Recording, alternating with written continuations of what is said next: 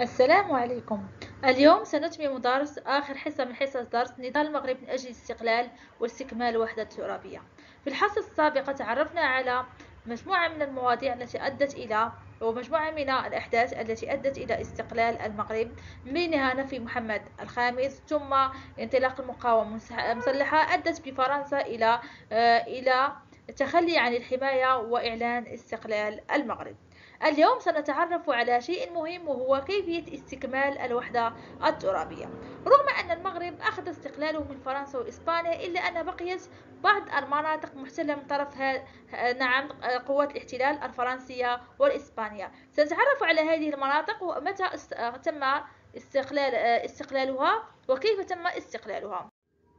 إذا من خلال وثيقة وثيقة واحد صفحة 105 تبين لنا مراحل استكمال الوحدة الترابية. هناك مجموعة من المراحل. ونعم هناك ست مراحل أساسية. إذا كل مرحلة مرتبطة في بعض المناطق وبلون محدد. إذا بدأ نبدأ بسنة 1956 المناطق التي تم استرجاعها سنة 1956 عندما أخذ المغرب استقلاله حصل المغرب استقلاله هناك من مجموعة من المناطق وأهم هذه المناطق المناطق الشمالية. التي كانت تابعة للخليفية آه، التابعة للإسبان. إذا بينها آه، نعم هناك أكادي وكانت تابعة لإسبانيا وكذلك فرنسا كلاهما. ونعم عندنا مراكش دار بيضاء الرباط مكناس فاس وجدة وطنجة. مناطق الشمالية نعم الشمالية والمناطق الشرقية. إذا هذه المناطق تم استرجاعها سنة 1600 نعم 1956 بين بينها وجدة فاس نعم مكناس. وكذلك الدار البيضاء. ثم مراكش. إذا المناطق الشمالية. ثم عندنا المناطق الثانية. مناطق تم استرجاعها سنة 1957 ومن أهم هذه المناطق منطقة طنجة التي كانت منطقة دولية. إذا منطقة طنجة منطقة دولية وكذلك هناك الرباط. التي تم استرجاعها سنة 1957 إذا هذه المرحلة الثانية. إذا المرحلة الثالثة مناطق استرجعت سنة 1958 إذا هي منطقة أهم هذه المناطق. عندنا منطقة طرفاية إذا هذه منطقة طرفاية تم استرجاعها بعد أن نعم أن كانت هناك مناوشات بين القوات الاحتلال الإسبانية ومنطقة ومجموعة مجموعة وكذلك قبيلة نعم أيت بعمران. اذا هذه القبيلة كانت في هذه المنطقة.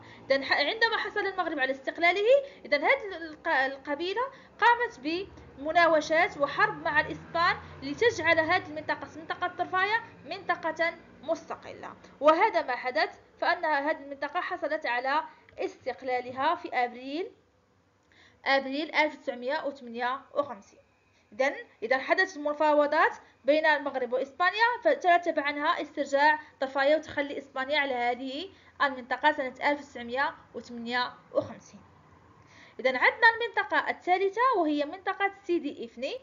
كذلك كانت محتلها فرنسا آه عفوا إسبانيا كانت محتلها إسبانيا. إذا هنا المغرب طالب نعم طالب واحد اللجنة اللي كانت تكونت بعد بعد الحرب العالمية الثانية. إذا الهيئة آه، من طرف الهيئة الأمم المتحدة اللي تعرفنا عليها.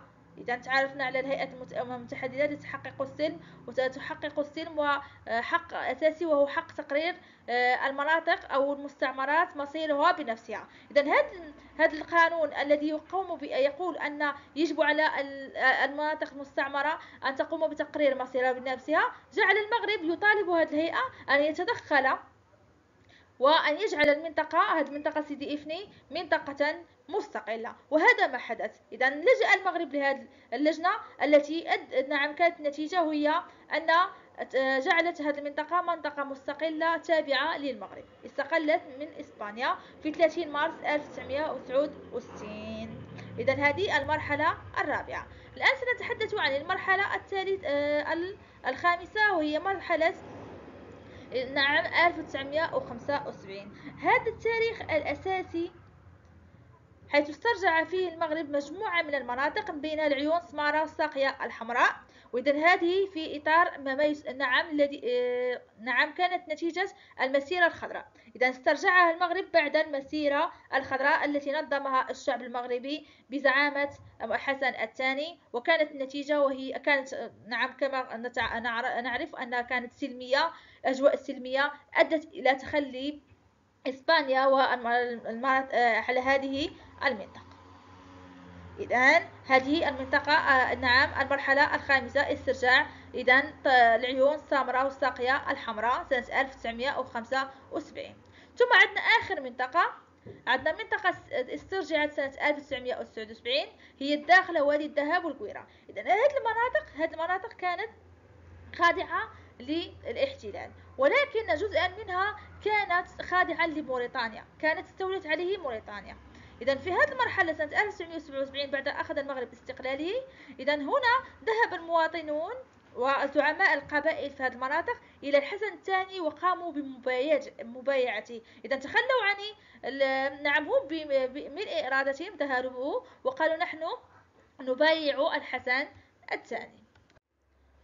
إذا هذه أهم مراحل استكمال الوحدة الترابية التي مرت عبر مراحل انطلقت من 1956 منذ حصول المغرب على الاستقلال إلى سنة 1979 إلى أن المغرب لم يستطع أن يكمل وحدته الترابية بشكل كبير لا زالت لدينا مليليا وسبتة محتلة من طرف من طرف إسبانيا.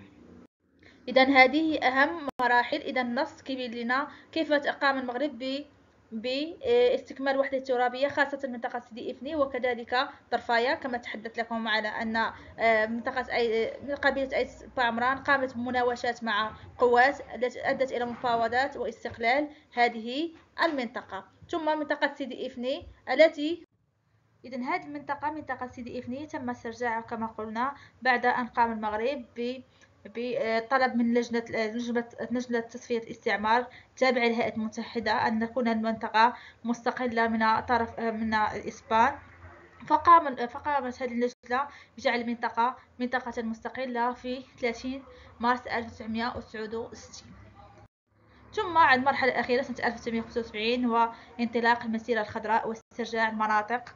إذا آه، منطقة العيون والسمارة والساقية الحمراء من الاحتلال الإسباني. إذا كخلاصة إذا هذه أهم مراحل.